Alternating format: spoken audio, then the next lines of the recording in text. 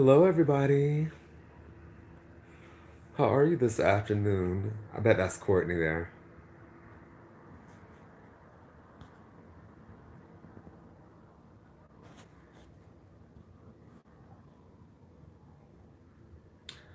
Um, I won't keep y'all long today. I just want to show that I am actually still in New York.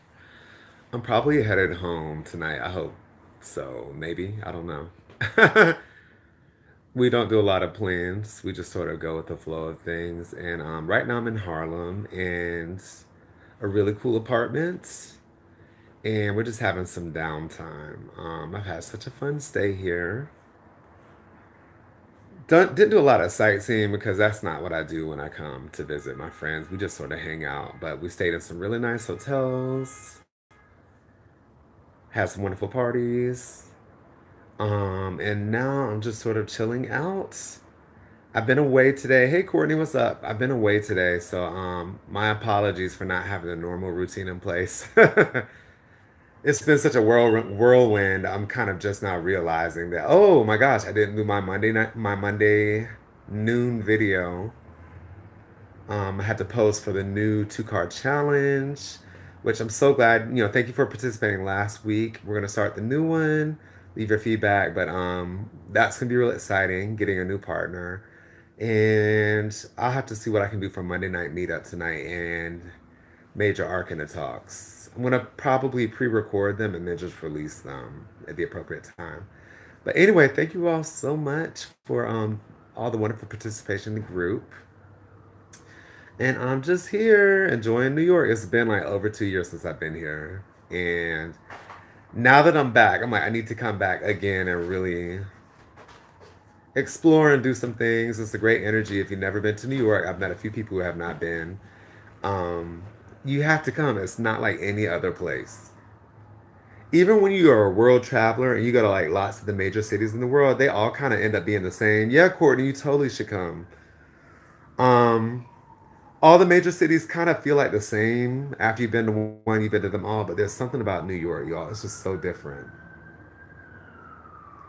So I got my New York fix for now, and I'm probably gonna come back on my own terms and do what I want to do. But it's been a pretty incredible experience. Has some fun spiritual things happened since I've been here. Hey April, how are you? Um, I do need to get some New York dirt. You know, when you requested, I hear that fire alarm or ambulance, whatever that is. Um, you requested New York dirt, and it's like you know, dirt is pretty rare in New York. It's like all concrete, so I'll see what I can do though. How's everybody's day going so far?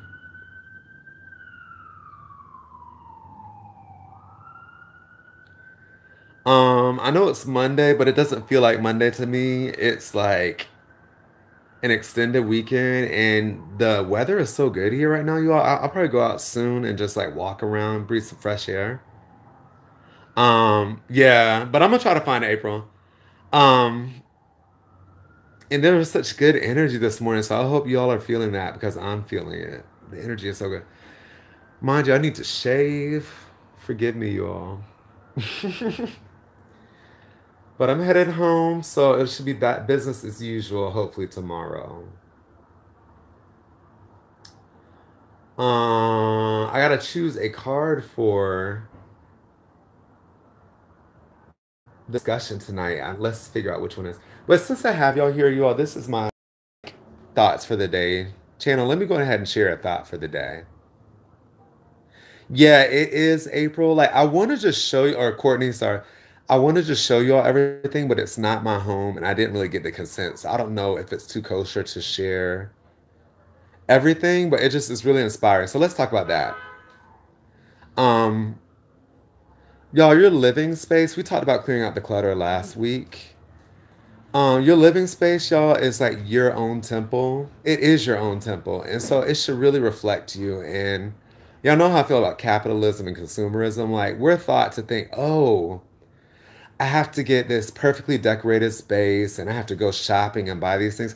You all, your space is a reflection of you. So, like, the items that you have in it should be um, thoughtfully placed and fill it with objects that like mean stuff to you and charge them with intentions. This home is a really good example of that. And you can make any you can make something that's not doesn't cost anything. You can make it look like a million bucks, a million bucks.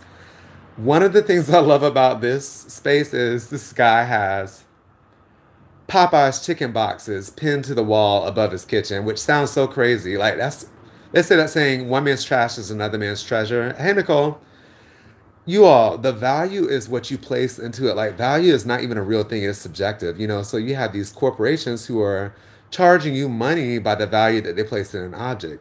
You know, when I was looking at people's gifts, um, during Christmas, there's some Instagram people I follow, and they have all Gucci bags under the tree, and it looks so fucking tacky to me. It's like you have people dictating what's valuable in your life, and so in order to feel like you have value, you go out and spend all this money on some bullshit when you all like we create the value. Like that's the part of empowerment. You create the value in objects and things and you surround yourself with them and place them thoughtfully in your home and your environment so that they can charge it the proper way rather than go out to IKEA, go out to um, Pier One or wherever y'all shop, and pay way too much money for some bullshit, y'all. He has Popeyes chicken boxes pinned to the wall. Y'all know if y'all eat Popeyes chicken, y'all, y'all know I'm vegetarian right now, but y'all know the significance of that.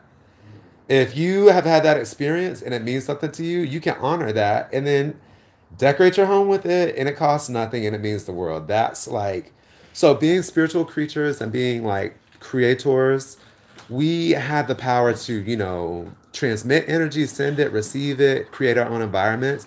Bring that creativity into your daily living, you all. And that's one of my goals with my apartment. That's why I was clearing out the clutter. that's why I was clearing out the clutter to um really take control of my space. And so this is really, really inspiring. And that's why I love being surrounded by creative people. And um, there goes another siren. But y'all just remember, yeah, your home is your temple, everybody. Your body is your temple, blah, blah, blah. But like, create, like, create a space for you in the life that you want to live. Don't let other people define that for you. You know, your career. You just got off the phone with an, uh, an ex coworker, an old coworker, and we were reminiscing about the past few months. You all, everything should be a reflection of you, and you should create it. You know, when you start to become empowered, you learn how to do that. So, that's today's lesson. Let's keep it light. if you like the sound of that, let me know in the comments. And if, um, yeah, I hope y'all enjoyed that.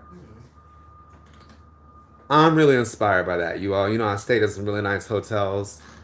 Um, that's fun too, to spoil yourself every now and then and do that. But y'all know I preach empowerment. That's all I'm, I talk about. So these are different ways, creative ways to be empowered and to express it. Like, not only your empowerment, but your creativity and your um, originality.